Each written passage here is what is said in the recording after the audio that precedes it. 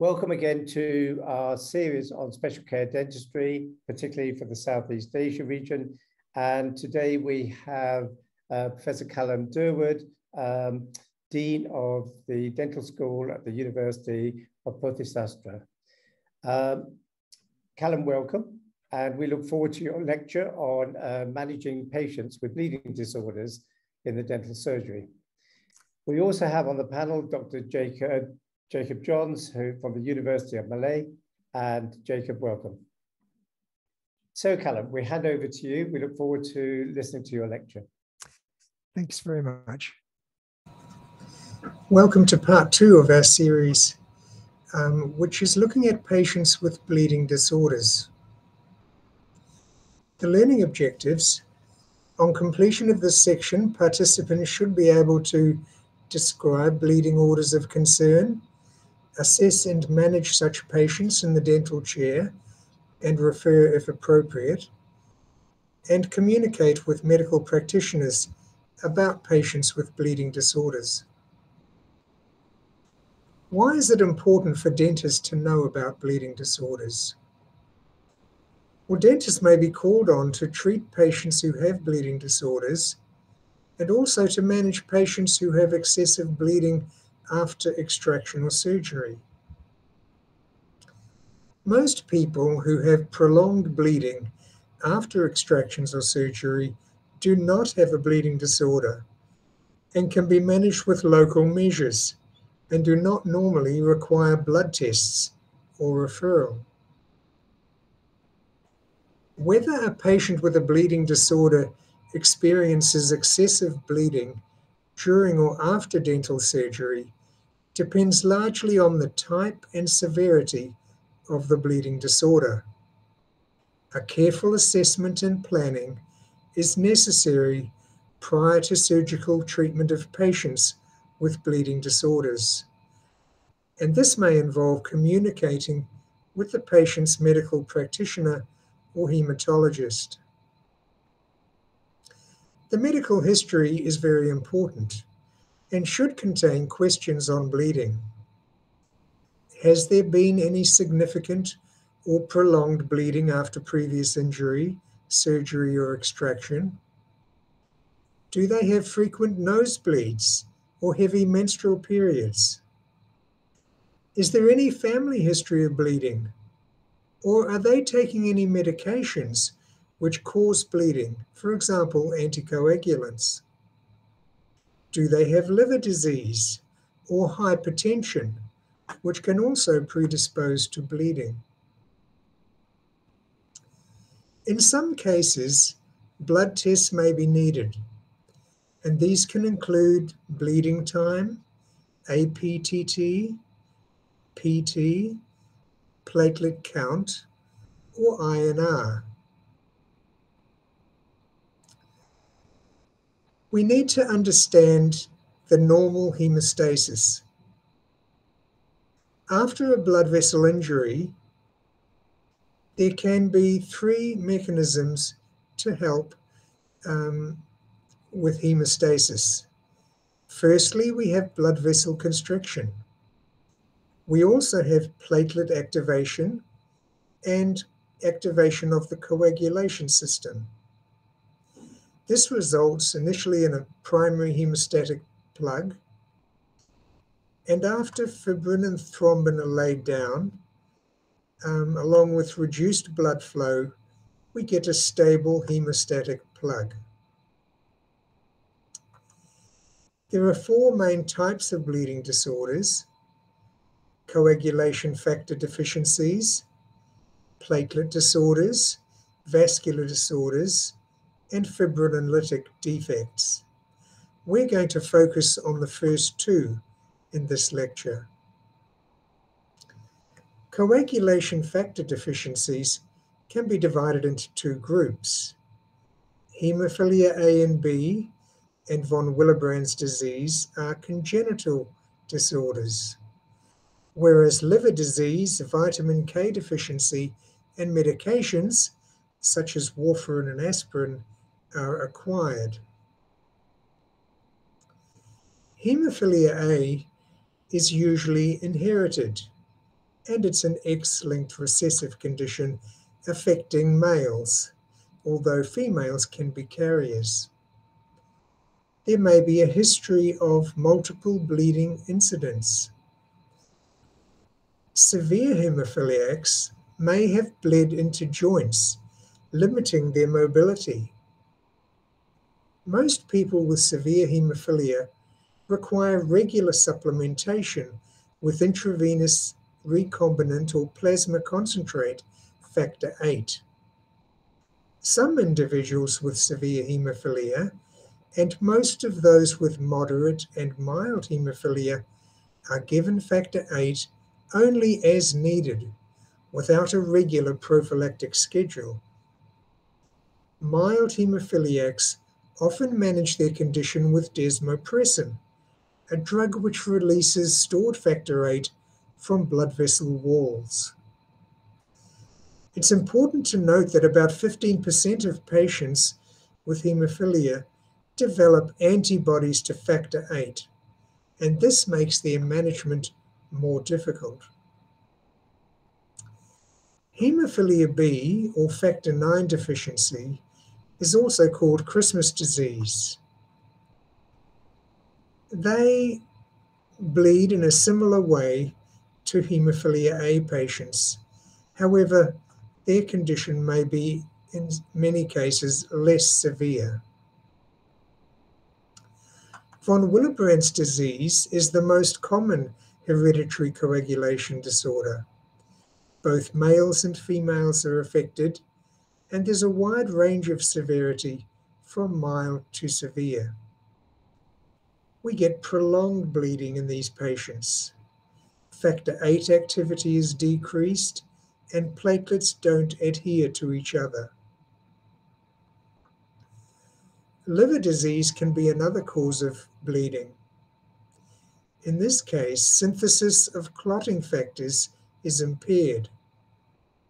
Sometimes bleeding can be controlled with vitamin K or fresh frozen plasma. For these patients, we, we may need to consider reducing the prescribed drug dosages. Common causes of liver disease are hepatitis C, hepatitis B, and alcoholism. The liver goes through a number of stages from being healthy to having fatty liver to fibrosis of the liver and finally cirrhosis of the liver. Platelet disorders are in two main types quantitative, and here we're referring to thrombocytopenia, and qualitative, which are platelet function disorders. Thrombocytopenia is defined as having less than 150 times 10 to the 9 platelets per liter. And there are three types. Idiopathic, the main one being immune thrombocytopenic purpura or ITP, which is an autoimmune condition usually following a viral condition or viral illness.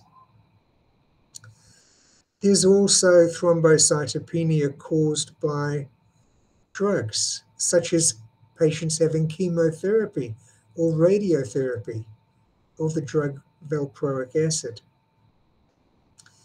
And some blood disorders and malignancies, such as leukemia, can also cause thrombocytopenia.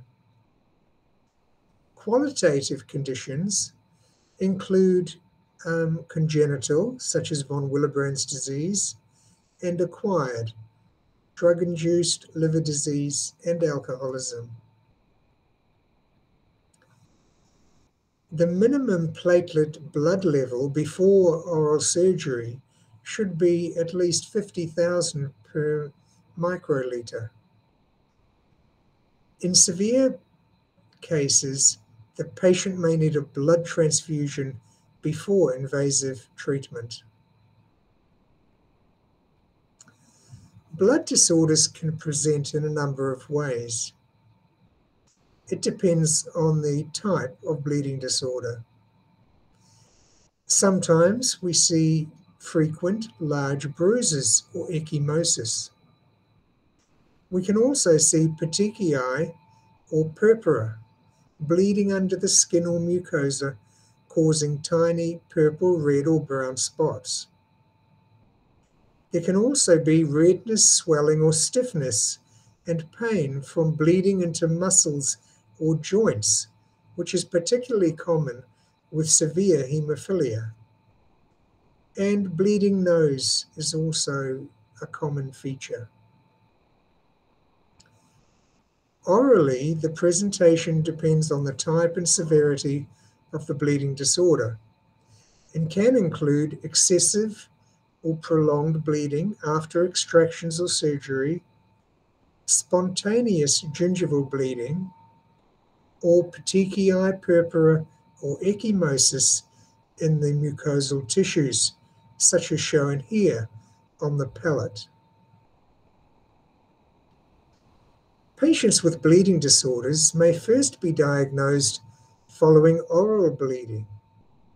One study in the United States found that 14% of all hemophilia patients and 30% of cases with a mild type of hemophilia were diagnosed early following an episode of severe oral bleeding, of which the most common sites were the labial frenum and the tongue. So dentists are in a good position to identify some of these patients. Bleeding in the presence of gingival overgrowth may indicate an underlying hematological malignancy, such as leukemia.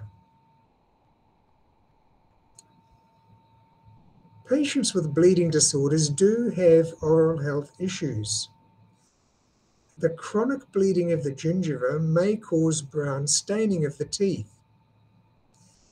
Patients may have more dental caries and periodontal disease and may lack effective oral hygiene and professional care. This can be due to a fear of causing oral bleeding, so they may neglect to avoid or avoid brushing their teeth or avoid going to the dentist because of a fear of oral bleeding that may occur. In addition, many dentists may be reluctant to see patients with bleeding problems. Management of bleeding disorders in the dental clinic um, will depend on the type and the severity of the bleeding disorder. For non invasive dental care, this is normally safe. We often need to communicate with the patient's medical doctor and sometimes the hematologist. Use a minimally invasive approach to minimize trauma during surgery. If there's a severe bleeding disorder, endodontics is preferred over extraction. If the patient has a severe coagulopathy, transfusion of appropriate factors to 50 to 100% of normal levels is often required. And this must be continued postoperatively um, for some period. Of course, we must also use local hemostatic measures such as pressure, sutures, hemostatic foam, and a tranexamic acid mouthwash. We should avoid prescribing aspirin and other non-steroidal anti-inflammatory drugs to these patients. And there should be a strong emphasis on prevention and oral health education so that their treatment needs are minimal. Injections in patients with severe bleeding disorders is an area of concern. We should avoid mandibular blocks or lingual injections in patients with a severe coagulopathy, as there's a risk of hematoma or swelling in the retromolar or pterygoid space, leading to airway blockage there's less danger if the clotting factor levels have been raised by appropriate replacement therapy. In these cases, we should use more infiltration and intraligamentary injections, and also use articaine. Local anesthetic that's used should contain vasoconstrictor. Here are some of the local hemostatic agents. Gel foam or absorbent gelatin sponge material that can be put into sockets, for example. Oxidized cellulose, such as Surgicel. Fibrin sealant, such as Tisseel.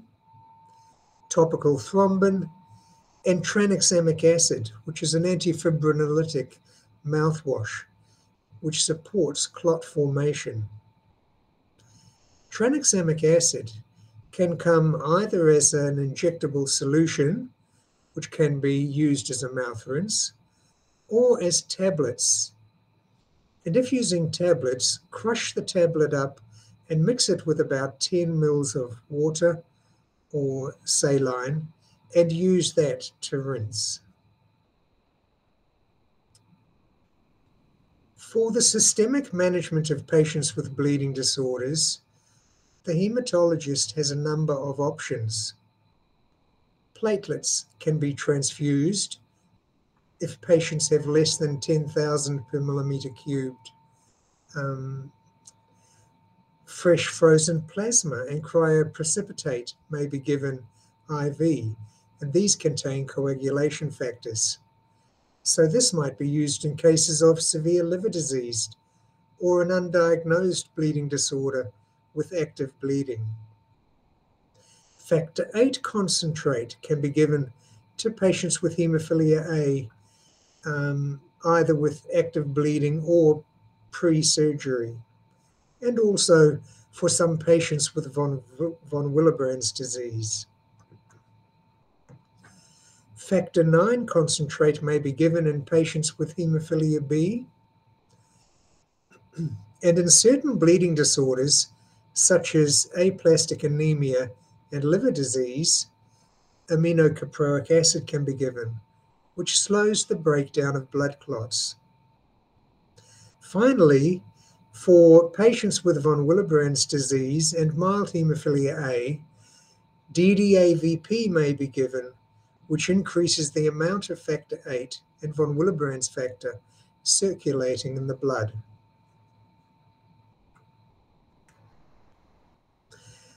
For the dental management of bleeding disorders, if the disorder is mild and we're doing non invasive procedures, there can be slight modifications or no modifications needed. If the bleeding disorder is severe, and we're planning invasive procedures, the aim is to restore the hemostatic system to acceptable levels and maintain hemostasis by local and adjunctive methods. In these cases, we should consult the patient's doctor. For drug induced coagulopathies, such as where the patient is taking warfarin or heparin, we should stop or modify the drugs um, prior to the appointment. Um, with heparin, the drug may be stopped by the doctor. For warfarin, the dosage can be reduced. So, in patients taking warfarin, before the appointment, we need to know the patient's INR. The normal INR in warfarinized patients is between two and three. And dentists can carry out most minor surgical procedures, such as extractions, if the INR is less than 3.5.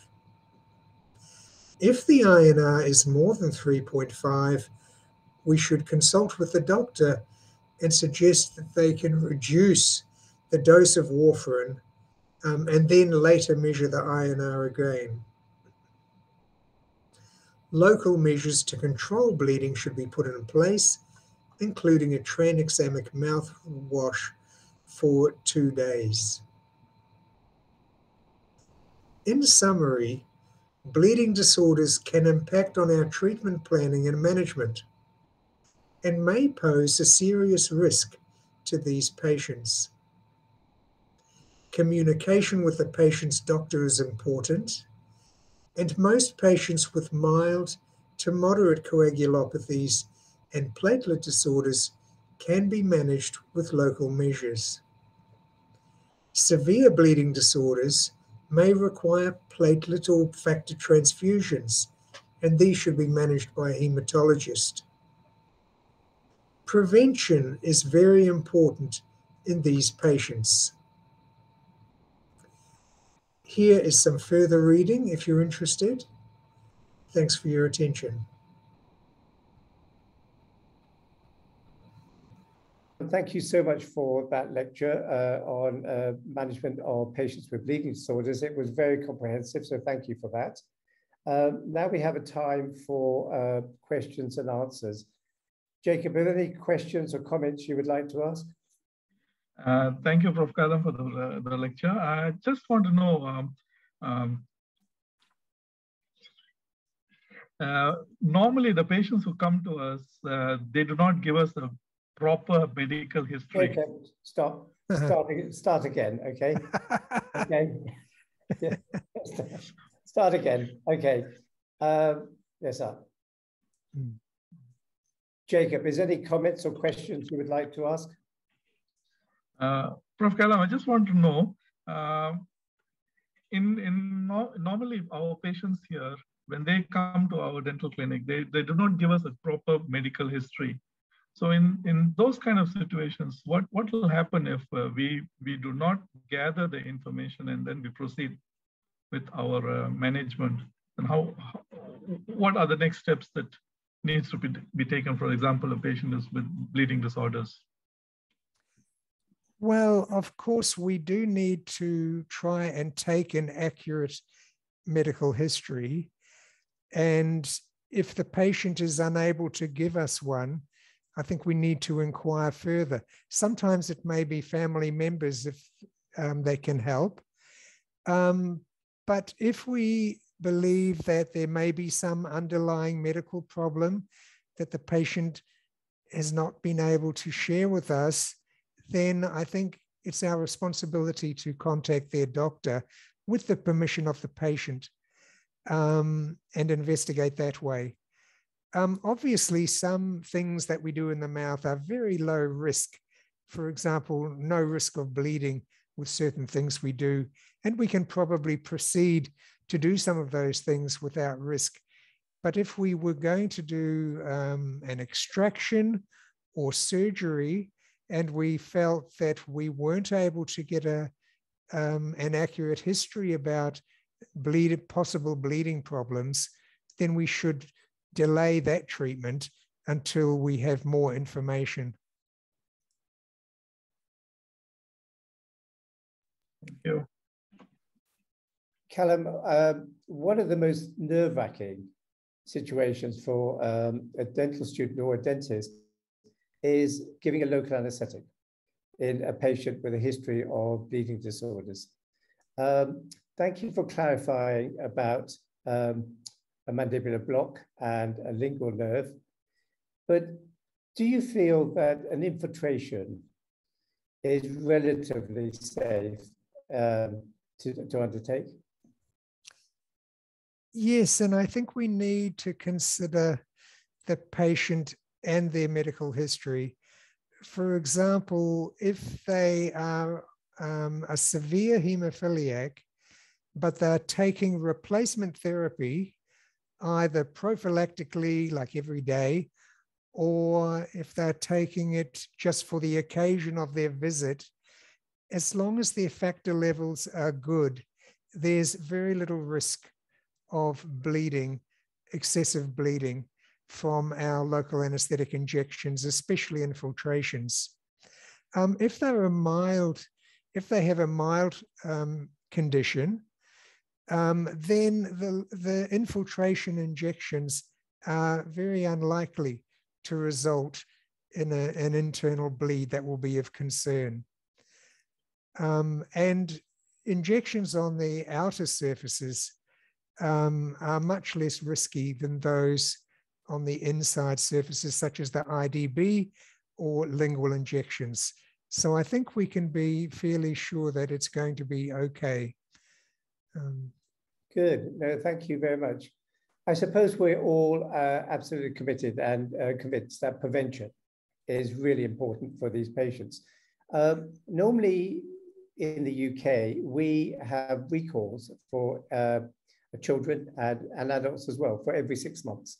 So patients come on a six monthly basis. Would you recommend that someone with a history of bleeding disorders actually has a, a shorter recall interval? I think I would combine their medical history, um, their bleeding disorder, with their caries risk history or the speed at which they build up calculus, for example.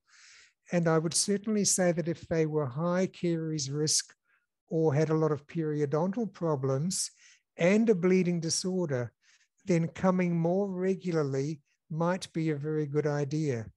Um, at that, at those regular visits, um, we can do prevention. For example, we can apply fluorides and sealants and do simple cleaning um, very safely. Um, if we extend the visits, then we can't do prevention so often. They may end up with more problems that are more challenging to treat. So, yes, I think we need to consider both the medical history as well as their caries risk. Good. Thank you very much. Jacob, any last questions or comments? Uh, um, Prof. Callum, normally what we do for uh, uh, post extraction or uh, any minor oral surgery, we have got instructions that we give to our patients. Any specific instructions that need to be given to patients with bleeding disorders post uh, treatment? Yes, well, we should give all the normal instructions, but I think that if they had any continued bleeding, um, then they they must contact us quite quickly um, so that that can be addressed. The other thing that we always, or in a lot of cases, will add to the normal instructions we give to patients would be relating to the tranexamic acid mouth rinse, which in a lot of cases is going to be very helpful in preventing ongoing bleeding. Okay, thank you so much. Callum, thank you for an excellent lecture again. And um, I think that the students and the dentists who actually are treating will find this, uh, the contents of your lecture really helpful. So thank you again. Thank you. You're welcome.